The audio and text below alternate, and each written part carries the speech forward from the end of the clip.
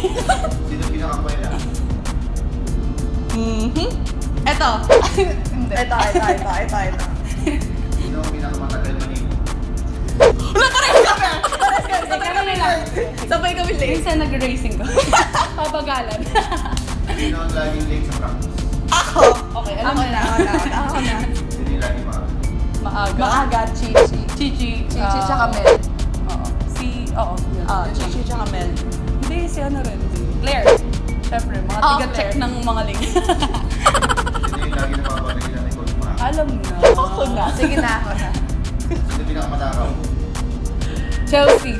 Oo, oh, Chelsea Man. Hindi siya na, hindi siya na, Tayo mga inasal. at saka si ano, si Dayan. Yung mga, Hindi tumataba. oh, Sino pinakamalakas magpiling? si Mel.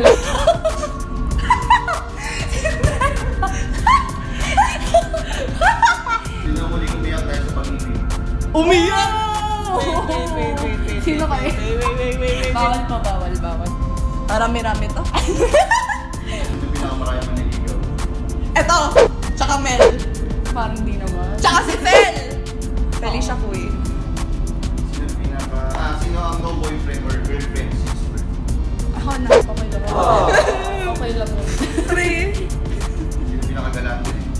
Galante. Wala! Mga barat. Koribat! Sino pinakamagaling magluto? Mag Claire. Claire. Claire. Sarmiento. Sino ang teammate mo na napagkasabihan ng mga problema? Ito. Aray ko. Sino pinakamagaling magpayo? Tayo. Advice. Ito din. Lagi rin naman kami magkausap.